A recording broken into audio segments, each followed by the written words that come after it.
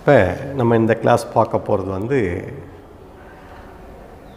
Digital electronics பற்றி பார்க்க போகிறோம் ஸோ அந்த டிஜிட்டல் எலக்ட்ரானிக்ஸ் பற்றி பார்க்குறதுக்கு முன்னாடி இந்த எலக்ட்ரானிக்ஸ் அப்படின்னு வரும்போது அவனுடைய ஃபீல்டை வந்து நம்ம ரெண்டு இதாக பிரிக்கிறோம். ஒன்று வந்து analogue electronics another one digital எலக்ட்ரானிக்ஸ்னு சொல்லி பிரிக்கிறோம். அது என்ன அனலாக் எலக்ட்ரானிக்ஸ் என்ன டிஜிட்டல் எலக்ட்ரானிக்ஸ் ஸோ அதை முதல்ல கிளாஸிஃபை பண்ணிப்போம். அதுக்கப்புறம் டிஜிட்டல் எலக்ட்ரானிக்ஸ் பற்றி பார்ப்போம். ஸோ அனலாக் எலக்ட்ரானிக்ஸ் நம்ம எலக்ட்ரானிக்ஸில் நிறையா காம்பனன்ட்ஸ் பற்றிலாம் படிச்சிருக்கோம். Diode transistor FET field effect transistor UJT SCR இது மாதிரி நிறையா காம்பனன்ட்ஸ் பற்றி படிச்சிருக்கோம். ஸோ அந்த காம்பனன்ட்ஸை வந்து நம்ம என்ன மாதிரி சப்ளை கொடுத்து ஒர்க் பண்ண வைக்கிறோம். ஸோ என்ன மாதிரி சப்ளை அதுக்கு கொடுக்குறோம். அந்த அதில் கிடைக்கக்கூடிய அவுட்புட் ஸோ அதை பேஸ் பண்ணி தான் இந்த எலக்ட்ரானிக்ஸை பிரிக்கிறோம். அனலாக் அண்டு டிஜிட்டல்னு பிரிக்கிறோம். ஸோ அந்த அனலாக் அப்படின்னா என்ன? டிஜிட்டல்னா என்ன? ஸோ அனலாக்னு வரும்போது ஸோ அது மேக்னிடியூட் வந்து டைமை பொறுத்து மாறிக்கிட்டே வரும்.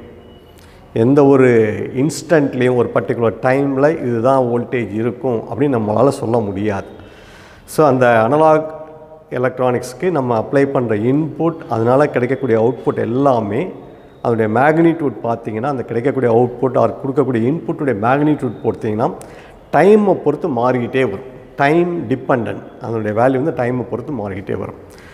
ஸோ அதனால் அந்த சர்க்கியூட் எல்லாமே அனலாக் சர்க்கியூட்னு சொல்லுவோம் ஸோ இந்த அனலாக் எலக்ட்ரானிக்ஸ் இந்த ஆம்ப்ளிஃபையர் நம்ம யூஸ் பண்ணக்கூடிய ஆசிலேட்டர் இது எல்லாமே அனலாக் சர்க்கியூட்ஸ் ஸோ அதனுடைய கொடுக்கக்கூடிய இன்புட் அதனால் கிடைக்கக்கூடிய இன்றைக்கி டிஜிட்டல் ஆம்ப்ளிஃபையர் வந்துடுது டிஜிட்டல் ஆஸ்லேட்டர்ஸ்லாம் வந்துடுது அந்த பழைய ஆம்ப்ளிஃபயர் செட்டு பழைய ஆஸ்லேட்டர்லாம் பார்த்தீங்கன்னா அதில் கொடுக்கக்கூடிய இன்புட் சிக்னல் அது டைம் அதனுடைய மேக்னிடியூட் வந்து டைமை பொறுத்து மாறும். அதை ஆம்ப்ளிஃபை பண்ணி அதில் கிடைக்கக்கூடிய அவுட்புட்டும் டைமை பொறுத்து மாறும். ஸோ அதனால் அது மாதிரி வரக்கூடிய சர்க்யூட்ஸ் எல்லாமே அனலாக் சர்க்யூட்ஸ் ஸோ இந்த அனலாக் சர்க்கியூட்டில் டைமை பொறுத்து மேக்னிடியூட் மாறுதுன்னும் போது நம்மளால் ஒரு பர்டிகுலர் டைமில் இந்த வோல்டேஜ் தான் இருக்கும் இது தான் கொண்டு வர முடியும் இது தான் நம்மளால் செய்ய முடியுன்றத நம்மளால் ப்ரிடிக்ட் பண்ண முடியாது. இதுதான் அப்படின்றத நம்மளால் செய்ய முடியாது. இப்போ ஒரு வோல்டேஜ் மெஷர் பண்ணணும் அப்படின்னா நம்ம யூஸ் பண்ணுற வோல்ட் மீட்டர் ஸோ அந்த வோல்ட் மீட்டரை பார்த்தீங்கன்னா அந்த நீடில் டிஃப்ளெக்ட் ஆகும். கொடுக்கக்கூடிய இன்புட் வோல்டேஜுடைய மேக்னிடியூடு தகுந்த மாதிரி அந்த நீடில் உள்ளார டிஃப்ளெக்ட் ஆகி அந்த டிஃப்ளெக்ஷனை நம்ம எந்த அளவுக்கு டிஸ்டன்ஸ் மூவ் ஆகிருக்கு அதை கேலிப்ரேட் பண்ணி இந்த வோல்டேஜ் நம்ம கொண்டு போகிறோம் ஸோ அதெல்லாம் நம்ம கேலிப்ரேட் பண்ணணும். நம்ம வந்து மேக்னிடியூடை மெஷர் பண்ணுறதுக்கு நம்ம கொஞ்சம் கேலிப்ரேட் பண்ணணும். அதுக்கு யூஸ் பண்ணுற இன்ஸ்ட்ருமெண்ட்டை அது மாதிரி கேலிப்ரேட் பண்ணி வச்சா தான் நம்ம மெஷர் பண்ண முடியும். ஆனால் இன்றைக்கி பார்த்தீங்கன்னா அதே வோல்டேஜு கரண்ட்டெல்லாம் மெஷர் பண்ணுறதுக்கு டிஜிட்டல் டிவைஸ்லாம் வந்துடுது ஸோ அதில் நம்ம அதே இன்புட்டை கொடுத்தீங்கன்னா ஸோ அந்த இன்புட்டை நம்ம எக்ஸாக்ட் ரீடிங்கை நம்ம அப்படியே நம்ம ரீட் பண்ண முடியும். வேல்யூஸும் அப்படியே ரீட் பண்ண முடியும் அப்படியே வியூ பண்ண முடியும். வேறு அந்த பழைய அனலாக் சர்க்யூட்லாம் பார்த்தீங்கன்னா அதில் நம்ம மீட்டர் டிஃப்ளெக்ஷனை தான் நம்ம யூஸ் பண்ணி கொண்டு வர முடியும். ஸோ அதனால் இந்த ரிசல்ட்லாம் அக்யூரேட்டாக வராது. ஸோ இந்த டிஜிட்டல்னு வரும்போது அதில் ரிசல்ட் அக்யூரேட்டாக வரும். இதுதான் மெயின் அட்வான்டேஜ்னு பார்க்கும்போது அதில் வரக்கூடிய ரிசல்ட் ரீடிங் இதெல்லாம் அக்யூரேட்டாக இருக்கும். ஸோ அதனால் இன்றைக்கி அந்த மாதிரி சைஸ் ஆஃப் தி சர்க்யூட்லாம் பார்த்தீங்கன்னா காம்பேக்டாக இருக்கும் அக்யூரேசி இருக்கும் லாங் லைஃப்பில் வரும் நிறைய அட்வான்டேஜஸ் இருக்குது சார் இதுதான் அந்த டிஜிட்டல் அதனால் நம்ம ஏன் டிஜிட்டல் போகிறோம் அனலாக்லேருந்து ஏன் டிஜிட்டல் போகிறோம் ஸோ அனலாகில் நமக்கு கேலிப்ரேஷன் பண்ணணும் அவுட்புட் வோல்டேஜ்லாம் மெஷர் பண்ணணும்னா கேலிப்ரேட் பண்ணி கொண்டு போகிறோம் டிஜிட்டலில் அது மாதிரி கேலிப்ரேட் பண்ண தேவையில்லை.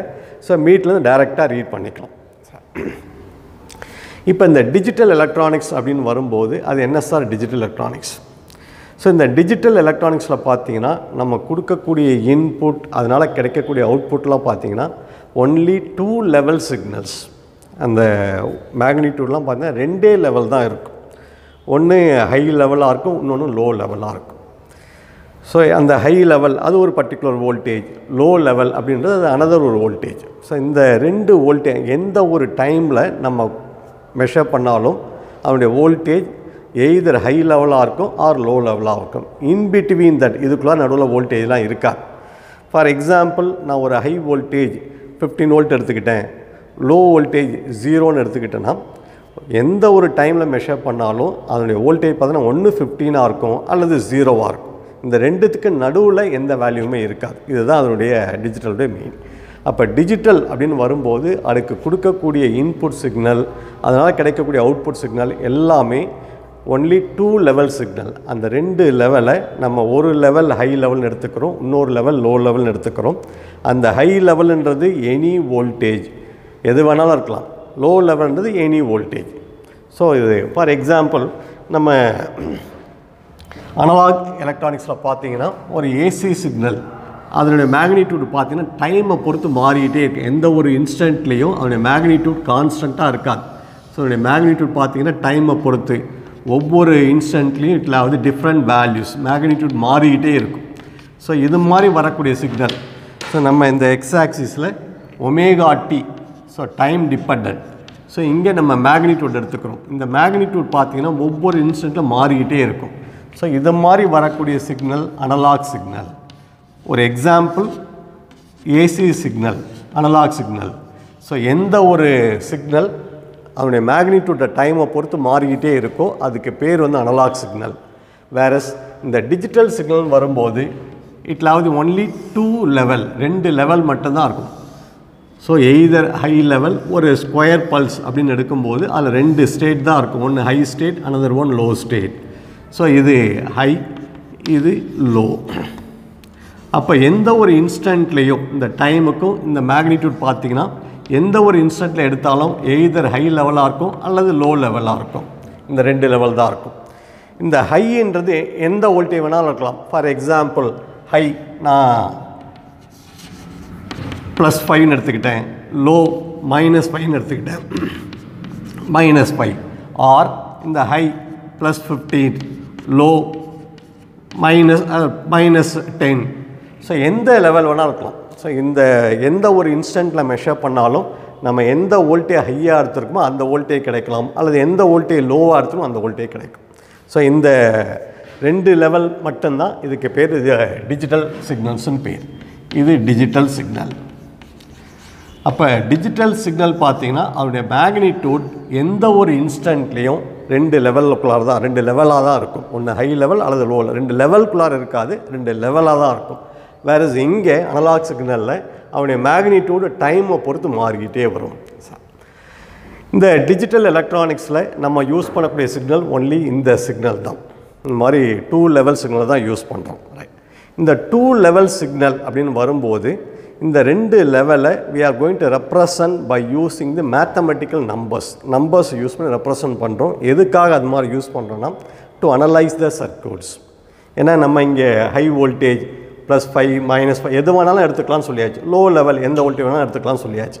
அப்போ இது ஒரு காமனாக கொண்டு போகிறது அனலைஸ் பண்ணுறதுக்காக we are going to represent the digital signal by using the two number system ரெண்டு நம்பரை யூஸ் பண்ணி ரெப்ரசன்ட் பண்ணிக்கிறோம். ஸோ என்னென்ன நம்பரை யூஸ் பண்ணி ரெப்ரசன்ட் பண்ணுறோம் so only by using zeros and one இந்த ரெண்டு நம்பர் மட்டும் தான் மேத்தமெட்டிக்கல் இந்த ரெண்டு நம்பரை யூஸ் பண்ணி நம்ம யூஸ் பண்ணக்கூடிய இன்புட் அதனால் கிடைக்கக்கூடிய அவுட்புட் சிக்னலை in by means of this numbers use பண்ணி ரெப்ரசன்ட் பண்ணிக்கிறோம். ஸோ அதனால் இந்த டிஜிட்டல் சிக்னலுக்கு இன்னொரு நேம் வந்து பைனரி சிக்னல்னு சொல்லலாம். இதுக்கு வந்து பைனரி இந்த ரெண்டு நம்பரை யூஸ் பண்ணி ரெப்ரசன்ட் பண்ணுறதோட்டு இதுக்கு பேர் பைனரின்னு சொல்லுவோம் ஸோ ரெண்டு நம்பர் சிஸ்டம் ஸோ இதுக்கு பேர் binary signal digital signal or binary signals. Since we have to represent the states by using the two numbers. அதனால் அதுக்கு பேர் பைனரி சிக்னல் அப்படின்னு சொல்லலாம். அல்லது பைனரி நம்பர்ஸ் யூஸ் பண்ணி ரெப்ரசன்ட் பண்ணுறோம் ரைட் அப்போ இந்த ரெண்டு நம்பரில் எந்த நம்பர் ஹை ஸ்டேட்டாக எடுக்கிறோம்? எந்த நம்பர் லோ ஸ்டேட்டாக எடுக்கிறோம்? ஸோ அதை பேஸ் பண்ணி ஸோ இங்கே நம்ம ஒரு டேர்ம் புதுசாக கொண்டு வரோம். லாஜிக் லாஜிக்னு ஒரு வார்த்தையை கொண்டு வரும். அது என்ன சார்? லாஜிக் ஸோ இங்கே நம்ம ஹை லெவல் லோ லெவல் இது ஒரு வோல்டேஜ் இது ஒரு வோல்டேஜ் டிஃப்ரெண்ட் வோல்டேஜஸ் இருக்குது ஸோ அந்த வோல்டேஜஸை நம்ம அந்த வோல்டேஜை யூஸ் பண்ணி அனலைஸ் பண்ணாமல் இந்த நம்பர்ஸை யூஸ் பண்ணி ரெப்ரசன்ட் பண்ணிக்கிறோம். ஹைனா காமனாக ஒன் லோனா காமனாக ஜீரோ அந்த ஹை வோல்டேஜ் எது வேணாலும் இருக்கலாம் லோ வோல்டேஜ் எது வேணாலும் இருக்கலாம். ஸோ இது மாதிரி ஆக்சுவல் வோல்டேஜை ஒரு நம்பர்ஸ் மூலம் ரெப்ரசன்ட் பண்ண அந்த மாதிரி சிஸ்டத்துக்கு பேர் லாஜிக் அப்படின்னு சொல்கிறோம் ஸோ அந்த சிஸ்டத்தை அனலைஸ் பண்ணுறதுக்காக நம்ம வேறு ஒரு நம்பர்ஸை யூஸ் பண்ணி அதை கொண்டு ஒரு சின்ன சின்ன கதையெல்லாம் சொல்லிவிட்டு அதோடைய லாஜிக் என்னன்னு கேட்பாங்க.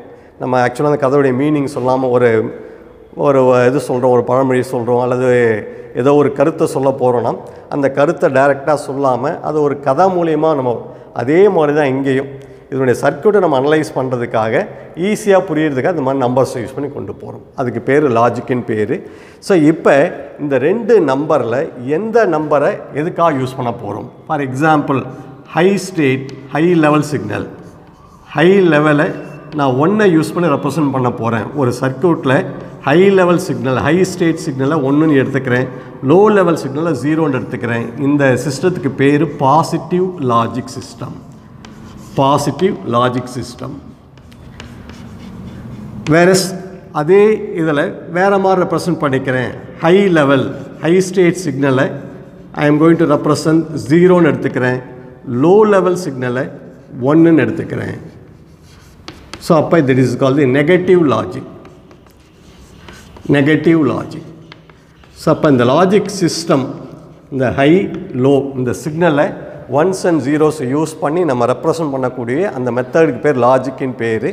ஸோ எந்த நம்பரை எந்த லெவலுக்கு யூஸ் பண்ணுறேன் அதை பேஸ் பண்ணி ஹை லெவலுக்கு ஒன்றுன்னு யூஸ் பண்ணுறேன் லோ லெவலுக்கு ஜீரோன்னு யூஸ் பண்ணால் அதுக்கு பேர் வந்து பாசிட்டிவ் லாஜிக் இதுவே நான் ஆப்போசிட்டாக யூஸ் பண்ணுறேன் ஹை லெவல் சிக்னல் ஜீரோன்னு எடுத்துக்கிறேன் லோ லெவல் சிக்னலை ஒன்றுன்னு எடுத்துக்கினா அதுக்கு பேர் நெகட்டிவ் லாஜிக்ஸ் அப்போ ரெண்டு டைப் ஆஃப் லாஜிக் சிஸ்டம் ஆனால் ஒரு சர்க்யூட்டை நான் அனலைஸ் பண்ண போகிறேன்னா அந்த சர்க்யூட்டை அனலைஸ் பண்ணும்போது நான் என்ன சிஸ்டத்தை எடுத்துக்கிறேன்? பாசிட்டிவ் லாஜிக் சிஸ்டம்னா என்டையர் சர்க்யூட் அதே தான் எடுக்கணும். ஒரு இடத்துல பாசிட்டிவ் லாஜிக் சிஸ்டம் இன்னொருத்தர் நெகட்டிவ் லாஜிக் மாற்றி யூஸ் பண்ண நமக்கு அவுட்புட் சரியாக வராது. ஸோ அதனால் ஒரு சர்க்கியூட்டை நான் எடுத்து அனலைஸ் பண்ணும்போது அந்த சர்க்யூட்டில் ஸோ ஒரு பாசிட்டிவ் லாஜிக் சிஸ்டம் அடாப்ட் பண்ண போகிறேன் ஹை லெவலெல்லாம் ஒன்றுன்னு எடுத்துக்கிட்டேன். லோ லெவல்லாம் ஜீரோன்னு எடுத்துக்கிட்டால் கடைசி வரையிலும் அதான் அந்த சர்க்யூட் அனலைஸ் பண்ணி அப்படியே கொண்டு போகிறோம் நடுவில் மாற்றக்கூடாது ஸோ இதுதான் அதனுடைய மெயின் கண்டிஷன் ஸோ லாஜிக் சிஸ்டம்னு வரும்போது ஸோ அங்கே நம்பர்ஸை யூஸ் பண்ணி தான் அந்த சர்க்யூட்டில் நம்ம அனலைஸ் பண்ண போகிறோம் சார் இந்த லாஜிக் சிஸ்டத்தை நம்ம இம்ப்ளிமெண்ட் பண்ணுறதுக்காக இந்த லாஜிக் சிஸ்டத்தை இம்ப்ளிமெண்ட் பண்ணுறதுக்காக so we are going to use the gate சர்க்கியூட்னு ஒன்று யூஸ் பண்ணுறோம் லாஜிக்கல் கேட்